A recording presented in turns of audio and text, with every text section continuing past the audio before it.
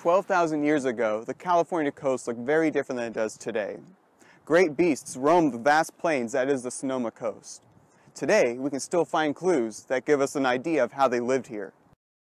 About 60 miles north of San Francisco lies a small outcropping of rocks that provide paleontological evidence that large Pleistocene megafauna once lived here.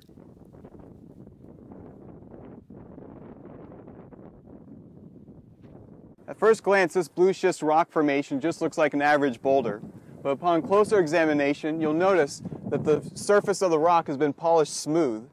This was once a mammoth rubbing rock. Scientists from the California State Parks Department believe that these rocks were once used by Columbian mammoths and giant bison as ancient grooming sites. Over thousands of years, these large mammals rubbed their thick hides on this rock until it was polished smooth. This would have been a welcome respite to an itchy mammoth.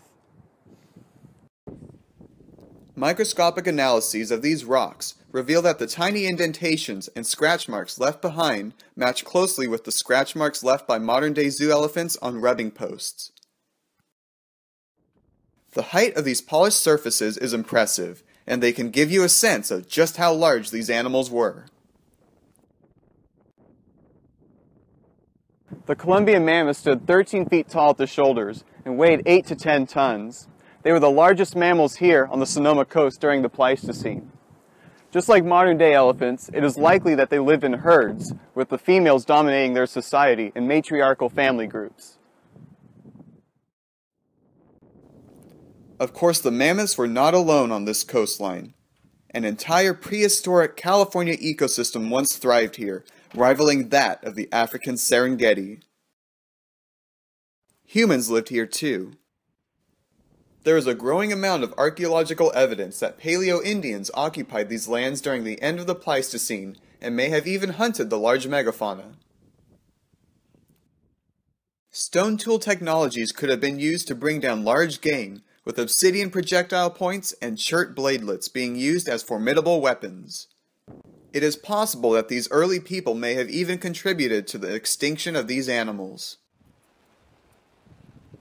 However, today there is still wildlife that can be found here.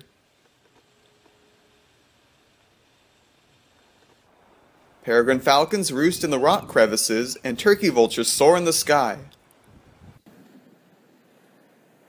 The California ecosystem has changed dramatically over the last 12,000 years. The great herds of Pleistocene megafauna have long since disappeared, making way for new species. Humans have transformed much of the landscape, and in some places dramatically altered the coastal ecology of the region.